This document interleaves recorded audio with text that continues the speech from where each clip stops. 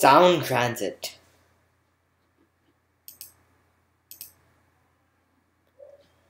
Hello fellow YouTubers, this is Armaan Kumar.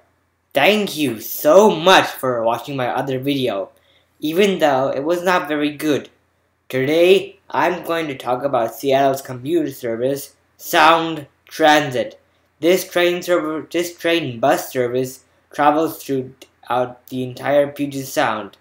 Their service has trains and buses. Here is a picture of the Sounder train, which we will, we will discuss in soon. The Sounder train service goes from Lakewood all the way to Everett.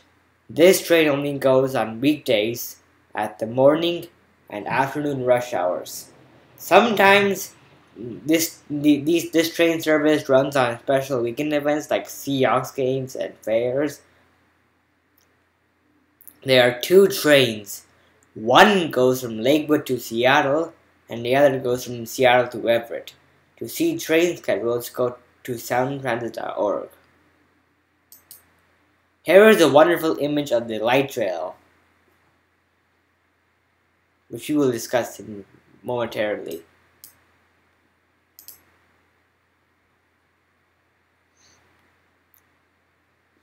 The light rail is a bit small, but it's very convenient and fun.